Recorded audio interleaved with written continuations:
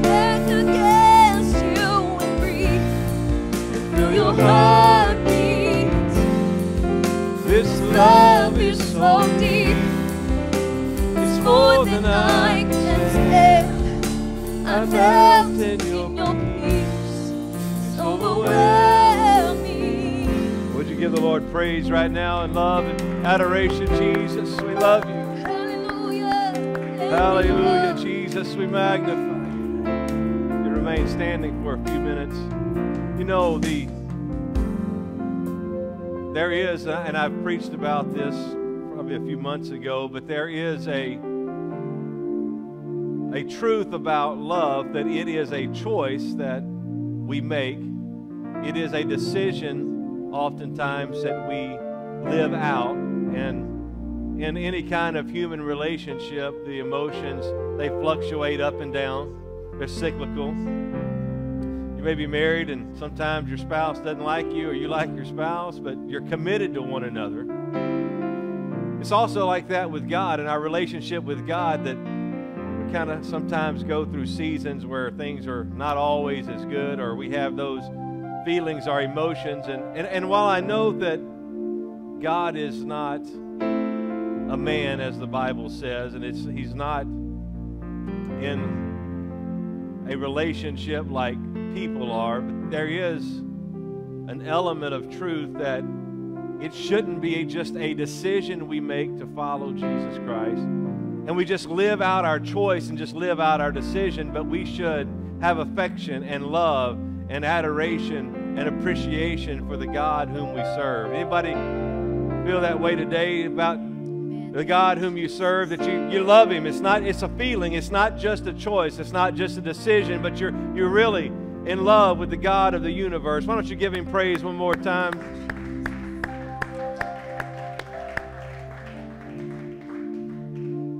Thankful to be in his presence. We want to go to the Lord in prayer today. If you have a prayer request, we would love to take that need to the Lord together. You can text us uh, that prayer request. You can use the word pray. Text it to 888 238 2134. And then you'll be able to get a form back where you can then fill out what it is that you would like us to pray for. Of course, you all are aware of all of the things going on in our world today, whether it's COVID 19, whether it's continued racial tension. And uh, we want to pray for all of those. Does anybody just have a need, though, that you want to make known by lifting of your hand today? You don't have to tell us what it is. I know people are in process of making decisions on various things, and we want to go to the Lord in prayer with you today. So, why don't we go to the Lord in prayer right now for all of these things? Jesus, we love you today. We thank you that we can bring our needs and our petitions before you. God, we thank you that you hear us when we pray. That when we ask anything according to your will, your word tells us that you hear us, and if you hear us, we have what we ask. And Lord, we pray that you would bring healing, Lord, not only physical healing, but emotional healing, racial healing to our nation today. Let the power of your Spirit, let the power that is at work in this world, let it minister. Lord, I pray that you would change hearts and lives. Do it right now by your great power. And Lord, every need represented in this room today, I pray that you would meet those needs, that you would give clarity, that you would help people to make the right decisions. Let your will be done and accomplished in their lives. And we thank you for it and we give you praise. Why don't you give the Lord a hand clap one more time? God bless you. You may be seated. We are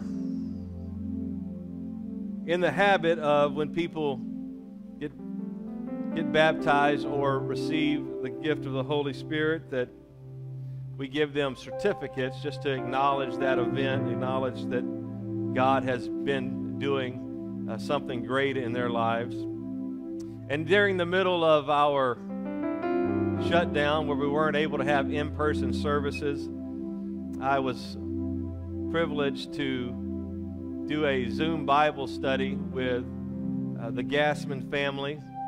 And I had started a Bible study with Bill prior to all of the shutdown, and then he began to witness to his family and talk to his family about the things of God. And so we did a Bible study on Zoom. And at the end of that Bible study, they decided that they wanted to be baptized in the name of Jesus. And so we're so thankful that th- God is at work in their life. And so after, after our April 26th live stream, they actually joined us here. We baptized them, almost froze them a little bit in the water, but it's not about the temperature of the water, it's about what God does. And Jesus was at work and He took away their sins and washed away their sins. And we're so thankful for what He's doing in their life. And I'm going to give these certificates. I'll walk over there so you guys don't need to come up. But Bill, so glad for what God is doing in your life. And Ann, so glad what Jesus did. And then Adrian and Aubrey. Yeah, that's right. Give them a hand. God bless you. Thank you. And just so you know, I, I, will. The second Sunday of the month, we typically we try to highlight evangelism, and we have a couple of things we're going to do. So I'm going to forego most of that. But I would just tell you this: that Bill is not just sitting idly by, but he's been witnessing to his family in two different states. And uh, Lord willing, in the next little bit, we'll be doing some online Bible studies with them and they've already begun, begun to read the Word of God, and uh, I'm looking forward to them driving down here. We baptize them in the name of Jesus for the remission of their sins, and then get them plugged into a church back where they live. So God is good. I'm going to give you an opportunity to give today. You can text the word give to 888-238-2134, or you can visit crosschurchkc.com slash give. Of course, we're not putting out envelopes, but if you have cash or check, uh, you can also deposit that in the buckets by the entrance to the building or the sanctuary. So while you're giving and before they sing one more song, we're going to do a little bit of a, a video presentation here. Uh, this is our, our first uh, season where we're able to do this, the graduation season. And so we are going to do a little video tribute today to our kindergarten, eighth grade, and high school graduates. So it's just under four minutes. So why don't you watch and enjoy this? And then following that, we'll do one more worship song and then enter into the preaching of the word.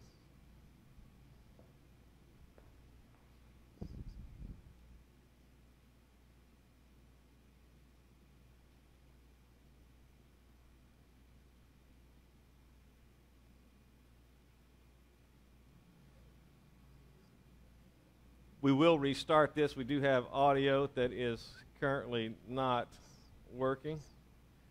But I tell you what, we're going to restart it even if we don't get the audio. Kim, if you would just play through it if the audio doesn't come up.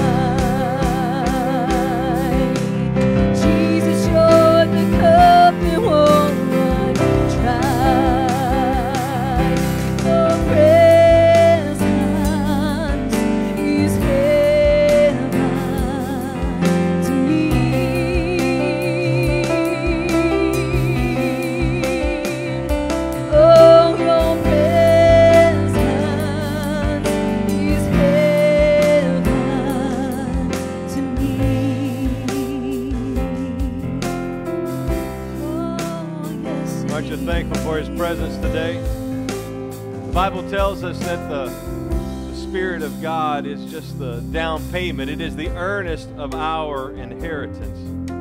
And then when we get into His presence, it's just a little glimpse of what it's going to be like to spend eternity with Him. Why don't we stand together one more time? And would you just lift your hearts, your voices, your hands one, once again? And would you love the Lord Jesus? We magnify your name today. Thank you for your presence today. Thank you for who you are and for all that you're doing in us. Thank you, Lord, that we can feel and experience and encounter your presence today. We give you praise. We give you praise. We're excited today for the return of children's ministry, and we're doing that a little bit uh, different than we have been to make it uh, socially distant or at least the ability to do that. And so, if you are participating in children's ministry, you can uh, exit out this door uh, for the children, and then the nursery will just go and go out that door there, so it's closer for them that are going to be over there. And we're so glad that uh, you've been with us during worship. Now we're going to get into the preaching of the word today. I'm going to turn your attention to Ephesians chapter 4.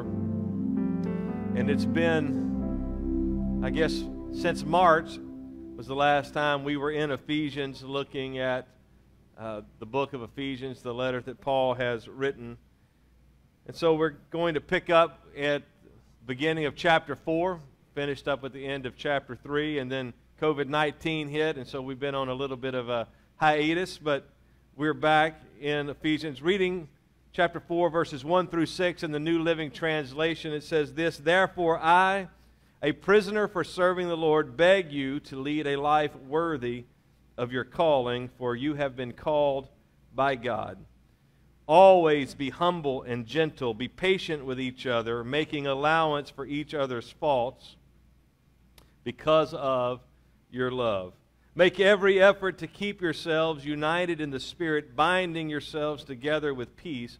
For there is one body and one Spirit, just as you have been called to one glorious hope for the future. There is one Lord, one faith, one baptism, one God and Father of all, who is over all, in all, and living through all. And so today I'm going to preach for a little bit on this thought called to be one.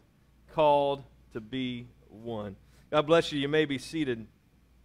We have a phrase that is on our, our money, it's on our coins. It is called E unum.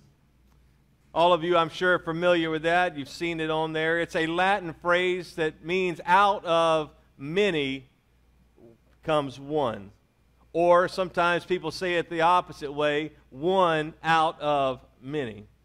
And so it, it was first brought about in, in our nation because we had 13 colonies that we're going to unite together to become these United States. And of course, now we're at 50 uh, states and, and territories. And but at that beginning, taking these 13 individual colonies who had individual uh, and unique religious beliefs. There were states that were only Catholic, or states that were only Quaker, or states that were primarily Anabaptist. And they, even though we were supposed to have freedom of religion, it wasn't necessarily always the, that, the case, depending on which state you were going to. And the state of Georgia was kind of where everybody that were they were prisoners, they were sent there, and all of these different things that took place, and you had all of these diverse beliefs, and all of these people that had come from various parts of the world looking for freedom. And the great American experiment is such that taking those 13 colonies and figuring out a way in which they could work together and could become one. Now, I realize the, the Independence Day is, is still a, about three weeks away, and so I'm not going to get too much more into that. But the idea, though, is that taking 13 diverse colonies, 13 diverse states, as it were, and taking them and figuring out a way to unite them together to become one. Jesus in his high priestly prayer in John 17. It's the apex of many would say of, of his ministry. It's just before the Passion Week, or just before the Passion. It's actually during that week. And, and he makes a prayer and he prays a prayer. And in the course of that prayer, he is praying for oneness, he is praying for unity. He's standing there and he's looking at 12 unique individuals, 12 people that have different personalities and different temperaments, one of which who would betray him in the coming days.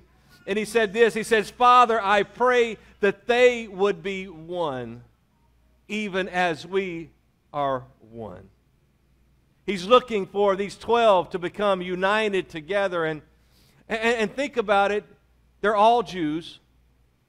They're all from a very, uh, a relatively small area. But even amongst just those 12 that have similar backgrounds, and maybe they have different vocations, and some fishermen and a tax collector, and, and but there's, there's not that much. They're all Jews. They were all raised with the same religious background and the same primary culture. And he looks at them and he says, I pray that you become one. Because what Jesus knew is that anytime you have people, you have problems. And when you get people together, you just multiply your problems. And these 12, he's like, you need to be one. You need to be united. And he prayed a prayer for them. And by extension, he prayed that prayer for us. And, and now we have much more diversity and much more, uh, uh, more different backgrounds and religious beliefs that have all trying to come together into the body of Christ to become one. We need to be one. We need the many to come together to become one in the body of Christ. And unfortunately, even within the body of Christ, there are people who have not really achieved oneness. They're not striving to be one. They bring, unfortunately, division many times instead of unity. But the true church of Jesus Christ should be a church that is united, a church that is one, that has one mind and one goal and one passion, and that is to see the lost saved, and that is to see Jesus Christ glorified. So I was thinking through kind of what this looks like, and, and you know, God is, before I give you this analogy, God is bigger than COVID 19, and He's bigger than all of this. And and, and God's bigger, of course, than Cross Church, but maybe, just maybe, God knew all that was going to be going, happening right now in our world. That He knew about the, the racial tension, He knew about the, the lack of oneness that we have and the need that we have in this day and hour. And, but He has a way of taking all things and working them together for good. And so I, I finished our last service before COVID 19, I finished Ephesians chapter 3. And I just didn't feel like I could keep on going on that series. And now that we're back and we've had a couple of unique services, we had missionary last week and we had Pentecost Sunday and we had a few unique services as we gathered back. That God knew this was going to happen. And so maybe it's orchestrated that this is the passage that is for this time and this hour that we need. Aren't you glad that God knows the end from the beginning? Aren't you glad that He knows all things? He is the author and the finisher of our faith. But so I was thinking about this analogy, and unfortunately, for those of you who don't like sports, I, I like sports. Therefore, I have a lot of sports analogies that I just make up. And it's possible for people to be on the same team, that they can all wear the same jersey.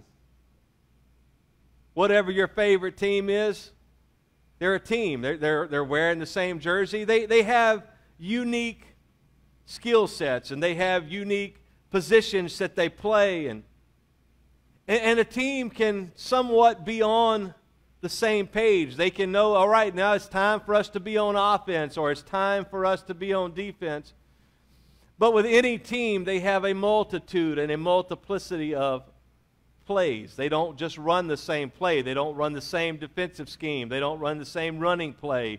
It may be off tackle or it may be between the tackles or whatever, all the different fancy things that they do. And if you're a Chiefs fan, you know, it works. And you just, whatever that play was that really helped them to win the Super Bowl that nobody thought would work. And Mahomes just pulled it out, and there, there was Tyreek Hill 40 yards down the field. And, and it just worked. But even if you're on the same team and you, and you know that you're on offense or defense, that's not enough. You have to be on the same play. That if you go out there and you think it's a running play and you're an offensive lineman and you're just taking exploding off the line and you're, you're pushing your guy back, but it's a pass play, guess what? It's going to be ineligible man downfield. You have to be not just on the same team and on the same side of the ball, but you have to be on the same play. And as the church of Jesus Christ, it's not enough just to say that we're Christians. It's not even enough to say, well, we believe the same things, but we have to act the same way, that we need to show and demonstrate the character and nature of Jesus Christ in everything that we do, in every way and in every aspect. That doesn't mean that we don't mess up. It doesn't mean that we don't make mistakes, but we need to strive to be on the same play running the same play, doing our part to push the ball down the field and, and the, the ball of evangelism and to see people saved with the gospel of Jesus Christ. So, in this passage, Paul has just concluded a whole long list of indicatives. An indicative is just a statement of fact. He's, he's had a whole long list of things that he says that God has done, and we're we're saved and we're sitting together in heavenly places. And by grace are you saved through faith. And that not of yourselves. It is the gift of god not of works lest any man should boast. But we are created in christ jesus unto good works. And and he ends chapter 3 with talking about the God who can do exceeding abundantly above all we ask or think, according to the power that works in us that God is at work in us and He's done all of these great things. He's saved us and He's done all these wonderful things. And then He transitions and He uses the word therefore. Because God has done all of this stuff, there's something that you have to do. Because God has saved you, there's something that you need to do. Because God has given you His grace, now there's something that you have to do. God is requiring something of us because of what he has done. And I don't think it's too far afield to say that he starts with unity. Because maybe that's the most difficult thing to achieve. That because God has saved us, and he, he saved you, and He saved you, and He saved you, and He saved you, and He saved me, now we're supposed to be doing something, and getting together in unity is difficult. And He starts with this call to be one. And then everything else can flow out of that. We can now, if we're together, if we're one, we can then do all of the things that God has called us to do. So there are a number of different ways that he speaks of this oneness. The first is this he says, We have one source of our calling. In verse 1, he says, Therefore, I, prisoner for serving the Lord, beg you to lead a life worthy of your calling, for you have been called by God. God is the one who calls us into relationship with Himself. God is the one that wants us to bring us into salvation. God is the one who is at work and is doing that. You and I don't get to call ourselves. I don't get to call you, and, and your neighbor doesn't get to call you. You don't get to call me. God is the one who does the calling. That doesn't mean we don't have a responsibility to share the gospel. But when we share the gospel and people receive it, it's because God has been at work and God has been calling them and God has been trying to get them in a relationship with Him. We have one source of our calling. And this calling for Paul, it led him to be a prisoner, both figuratively and literally. He's writing this from a jail cell. He's writing this because of persecution. He's waiting for his execution. And he writes this, and he says, I'm a prisoner. I'm really a prisoner. But there's also a figurative aspect of that, and that is this it's that all of us are, in essence, prisoners because we have been bought with a price. We now belong to Jesus Christ, and when we belong to Him, we're a prisoner to do His will and to do what it is that He is calling us to do. And he says we need to live worthy of our calling. Walking worthily begins with understanding those things that unite us and make us one. And that starts with understanding that it is the same God who calls us. And that if you're going to be saved, it's not a different God, it's one God. And that same God who loved you enough to bring you into relationship with Him and loved you enough to bring you into relationship with He loves everybody and He's trying to bring people into relationship with Him and unite them together for His cause and His purpose. We have one source of our calling. And then, verse 2, we have one attitude toward each other. Well, let me say it this way we're supposed to have one attitude toward each other. He says, always be humble and gentle. Be patient with each other, making allowance for each other's faults because of your love. Humility. It's probably not my strongest point. For many people, it's not their strongest point.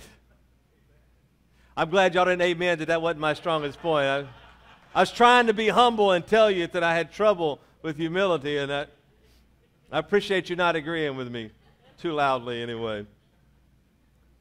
But humility is not thinking more highly of yourself than you ought to think.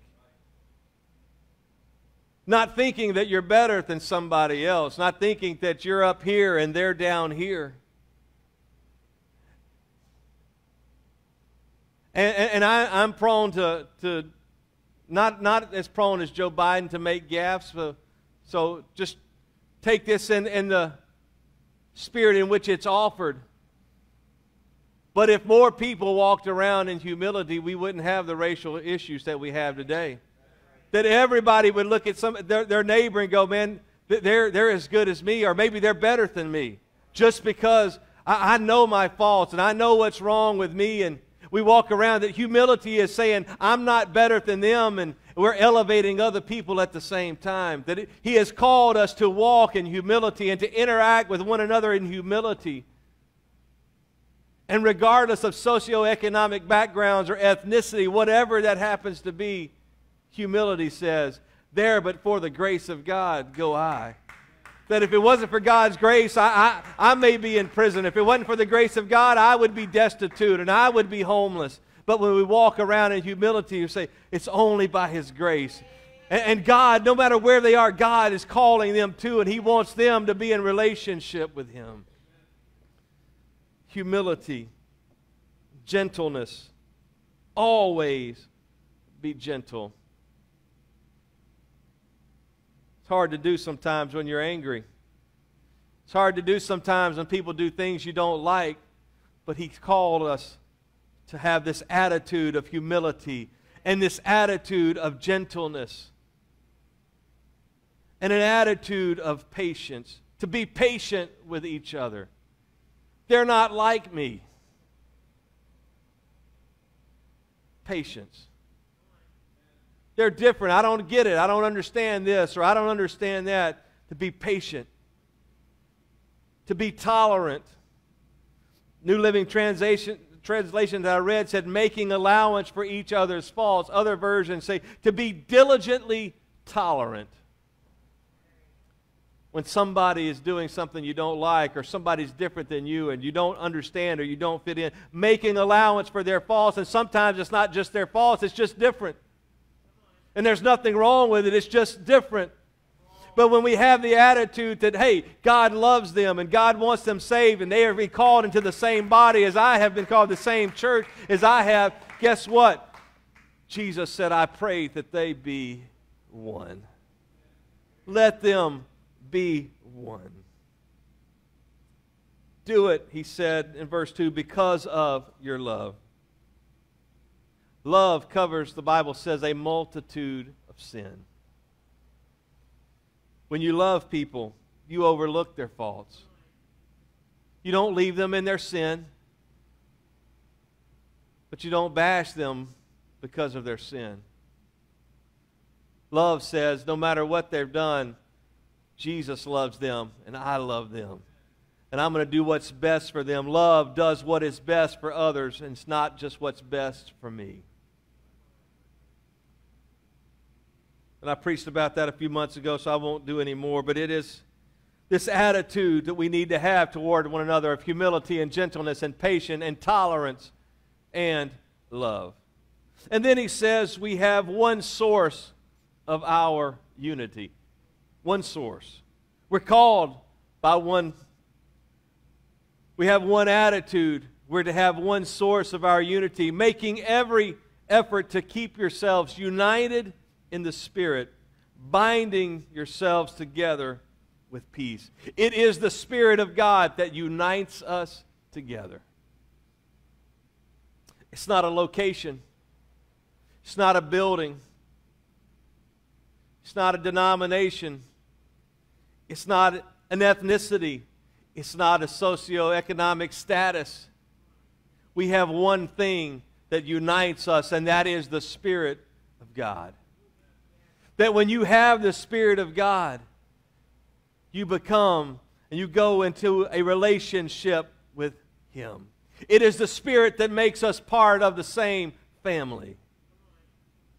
The Spirit of adoption, whereby we cry, Abba, Father. That you've been adopted into the same family that I've been adopted into, and you've been adopted into the same family that we've been adopted into. And when we have that spirit, we're all part of the same family, and we're all saying, Abba, Father. I preached about this a few, I preached a lot a few months ago, sounds like. But, but I, I preached from Romans, and, and I used this in one of my messages that, that when Paul, he's talking about this spirit of adoption, and, he's been talking about Israel, and, and he starts off with these, these concentric circles, and he says, Not all of Abraham's seed is, are saved. And he goes into the fact that there's Isaac and there's Ishmael, and it, but the, the descendants of Ishmael, they're not saved, but Isaac's seed his offspring, they're the ones who are saved. And then he says, but not all of Isaac's descendants are saved. He's got Jacob and Esau. Jacob, whom I've loved, and Esau, whom I've hated. So it's this Jacob and his descendants that are now part of the chosen line, the part of the people of God. And he walks all of this through. And he creates this distinction between Jew and Gentile and ultimately, he says, But all have sinned and fallen short of the glory of God. Whether you're Jew or Gentile, all have sinned. Chapter 6 For the wages of sin is death, but the gift of God is eternal life through Jesus Christ our Lord. And he says, All of us have sinned and all of us have the same salvation. Then he gets into the spirit of adoption where we're brought into one family. And, I think that what he's doing when he says, Abba, Father, he's talking about our differences. Abba, it's the Aramaic for, for father. But Romans isn't written in Aramaic, it's written in Greek. But he writes an Aramaic word that the Jews primarily, or many of them are speaking, it's what they're writing in, and he sticks that in along with the Greek word pater, which means father. And he says, We cry, Abba, Father. So whether you're Jew, you call him Abba, whether you're Gentile and you call him Pater, he says we both are calling him Father. He has brought us together with the spirit of adoption, and he has made us one, and it is his spirit that unites us together. It is the spirit of God that is the source of our unity. To be united means that we walk in peace. He says, binding yourselves together with peace. I don't think it's any accident the way Paul uses language here under the inspiration of the Holy Ghost. There's another time when Jesus talked about peace, and he says, Blessed are the peacemakers, for they shall be called children of God. Walk in peace because it produces unity. Because we're the same family. And if you're a peacemaker, what are you in that family? You're a child of God when you, when you make peace and you, and you break down the barriers and, you, and you, you ease the tension and you ease the difficulty and you bring people together and reconcile them together. Blessed are the peacemakers, for they shall be called the children of God. Aren't you thankful to be a child of God today? Why don't you lift your hands and love Him right now? Jesus, we love you. We praise you, Jesus. Verse 4, he expands it out, and we have one church, one spirit, and one future. For there is one body and one spirit, just as you have been called to one glorious hope for the future. One body, it is speaking of the body of Christ, the church. And the true church, there is only one. That if you're part of the true church, whether you're part of a local assembly like this or, or whether you haven't ever made it to a, a local assembly, if you're really part of the church, there's only one. There's not a multitude of churches. There's a multitude of false churches, unfortunately, but there's only one true church. He says, You are part of the one body, that body of Christ. And it is that one Spirit of God that is in all of us. If you receive the Spirit of God, you don't receive a different Spirit than somebody else. There is only one Holy Spirit. There's not a multitude of Holy Spirits. There's not a multitude of spirits that God is passing out and God is filling people with. It's only one. There is one body and one spirit. And He says, when you have that, guess what? You only have one future. And it is a glorious future of heaven with Jesus forever. One future. And let me hurry. Verse 5 and 6, he tells us if, because we're united and we're one, he says there is only one God. Verse 5 there is one Lord, one faith, one baptism, one God and Father of all, who is over all, in all, and living through all. And there's a lot to break down, and I'll do it quickly as I can there is one Lord, and he's talking about the Lord Jesus Christ. That, that when we come into relationship with God, we do it through the Lordship of Jesus Christ. No man comes to the Father except through the Son.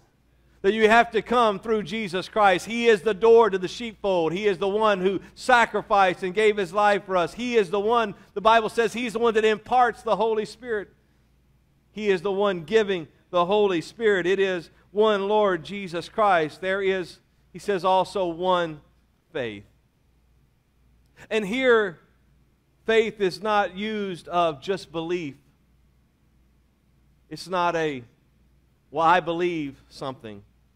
It is not the process of believing, but it is the object on which you believe. And he says there is one faith. Jude would say this that the faith was once for all delivered to the saints. It is one body of truth that doesn't change, that it was decided before time began and it was, it was preached and it was written down in the first century AD and it is still in effect today. There is only one truth. There is only one body of beliefs. There is one faith. And I don't have time to go into all of that, but I would just tell you this. It's that anything outside of the Bible is not part of that one faith. That anything outside of what the apostles were preaching and teaching is not part of that one faith. There is one method of salvation, and that is repentance and baptism in Jesus' name and the infilling of the Holy Ghost. There is only one way to be saved, and there's only one means to get there, and that is through Jesus Christ. There is only one faith. He says there's only one baptism.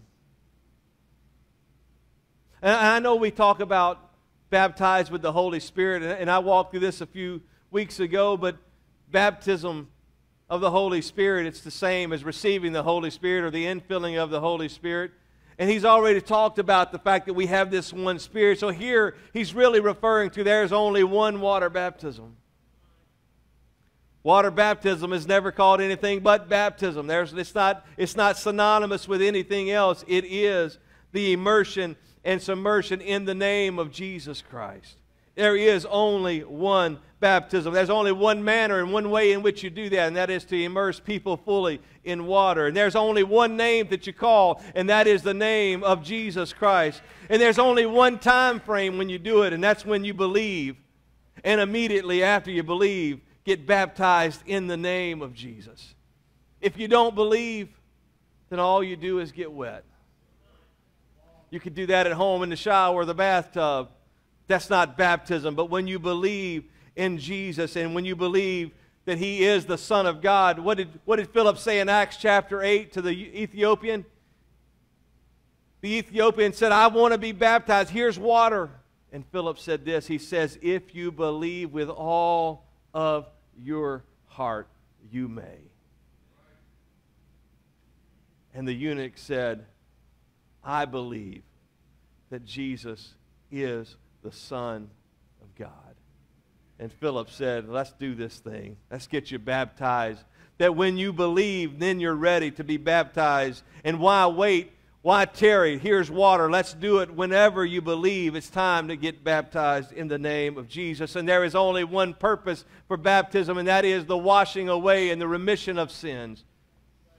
Acts 2:38 Peter said to them, "Repent and be baptized every one of you in the name of Jesus Christ for the remission of sins." That baptism accomplishes what nothing else can do. It's God's plan, it's the way He ordained it. There is only one baptism.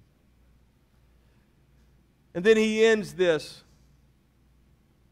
section with saying, There is one God and Father of all who is over all, in all, and living through all. Deuteronomy 6 4 Hear, O Israel, the Lord our God is one Lord. There's not a multitude of gods. Paul's writing in a time where there is a pantheon of gods. The Greeks and the Romans, they have all kinds of gods.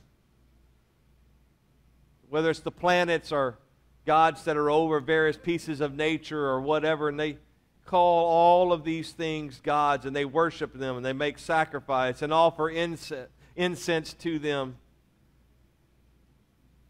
But there is one God. Deuteronomy 6 4, it is the foundation of the fact that there is only one God. Hear, O Israel, the Lord your God is one. In Isaiah 9 6, here he says that, before I read that, but Paul said there's one God and Father of all. The prophet, under the inspiration of the Holy Ghost, said unto us, A child is born, speaking of Jesus Christ unto us a son is given. And the government will be upon his shoulder. And his name shall be called Wonderful Counselor, the Mighty God, Everlasting Father, Prince of Peace. And I don't have time to go into all the theological understanding of that, but let me just sum it up this way. There's no question who this passage is speaking of. Within Christianity, nobody questions. Nobody questions that Jesus is the Prince of Peace. And nobody questions that He's a wonderful He's counselor. But if He's all of that,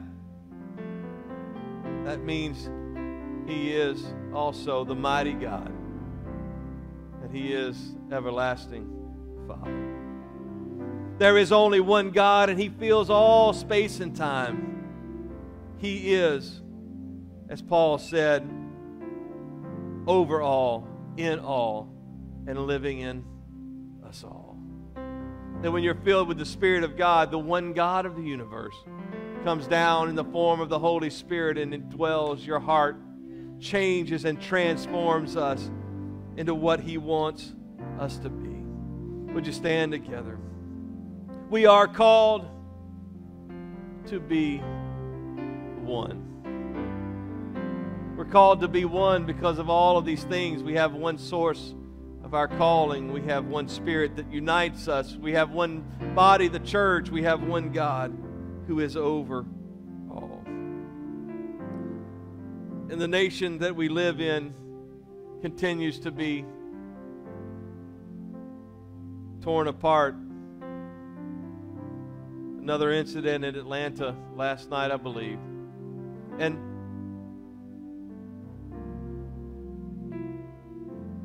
I'm sure there are those who don't want unity and don't want oneness. They, they want chaos. But what God wants is for His people to be one, His people to be united. And He wants His people to be united to preach the gospel. And so that everyone who hears the gospel and responds appropriately then they become united and they become one. It is the only solution for the world's problems is the gospel of Jesus Christ. And, and if we can't work together to get the job done, then we're not fulfilling his calling and his purpose. The Tower of Babel was unity gone wrong. Where they were all united around a common cause. And, and you may have different views on this, but I, I think the reality is what they were doing is not just trying to build a really tall skyscraper, but they were building pagan temple, a ziggurat that is trying to use that temple and that worship and that false worship to reach heaven. And what God said is everybody's united that means nothing is going to stop them. Nothing is going to come and, and keep them from doing the things that they're doing. It's like being in a mob when everybody's united and they're doing the same thing. Who's going to stop them? And that's what he says. He said, They're all united doing this. And so he says, I'll stop them. That's unity gone wrong, but the book of Acts is unity done right. They weren't without their problems. They didn't have a few discussions and a few squabbles. And you see Paul and Peter a couple times, they, they butted heads, but ultimately they were united because Jesus prayed, let them be one. And the entire world heard the gospel in roughly 40 years. Now, some 2,000 years later, how many people still haven't heard the gospel? How many people don't really know the name of Jesus Christ? But we can only reach our world if we unite with the gospel of Jesus Christ and we work together as one. The one body of believers that God has called us to be. I don't know about you, but I want to be one with my brothers, one with my sisters, one in my beliefs, and one with the Father, and one walking to see people saved with the gospel of Jesus Christ. I'm going to ask you as they get, begin to sing this song once again, as I did a couple of weeks ago, maybe last week, just step out from where you are, maintain social distancing, and just to make sure everybody stays safe and comfortable. But would you make, take a step of faith and say, God, I, I want to be one. I want to be what you've called me to be. Yes, Lord, I want to be everything you've called me to be, Jesus. Make us one flame to proclaim your name that's your desire, would you make this song your prayer to be one today?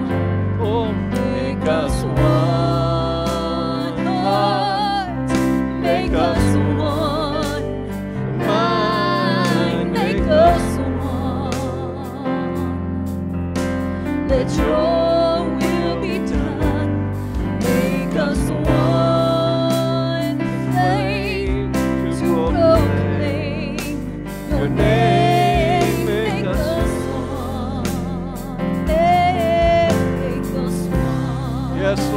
to be one with you,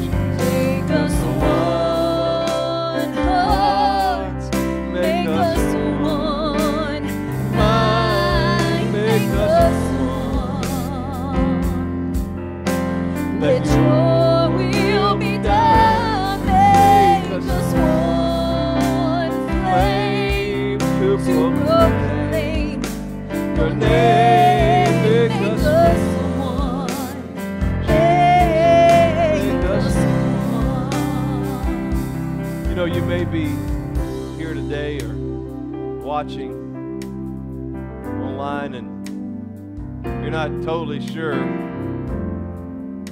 your relationship with Jesus Christ, but you can make that relationship sure today. Just know that He loves you.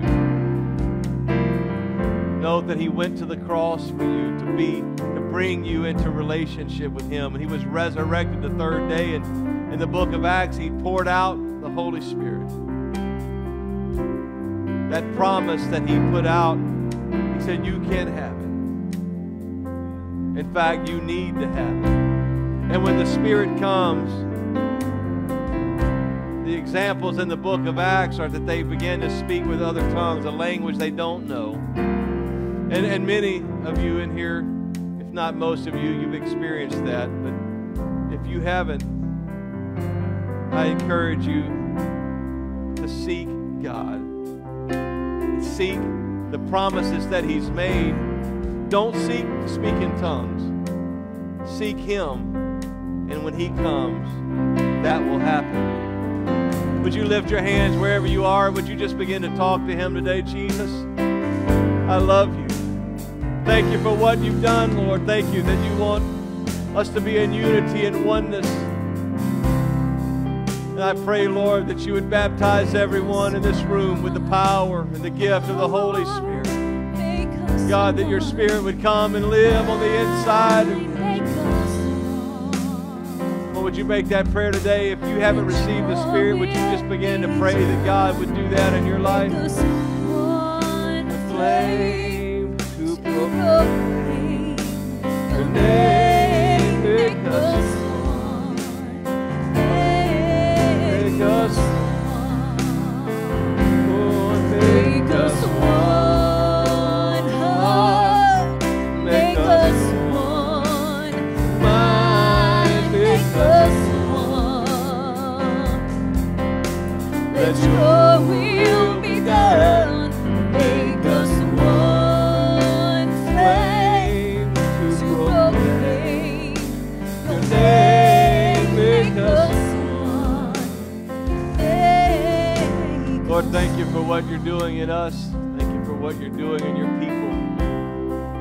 I pray that you help us to be salt and light. Help us to be the people that you have called us to be. Lord, I pray that as part of the body of Christ, that just in this local assembly, that you would help us to be united and be one with you and with one another. But also, Lord, I pray that you help us to be one with the broader church, that you would help us to be united that we would have that proper attitude toward one another of humility and gentleness and patience and tolerance and love. Make us one, I pray, so that you would be glorified, that the world would be saved. Make us one,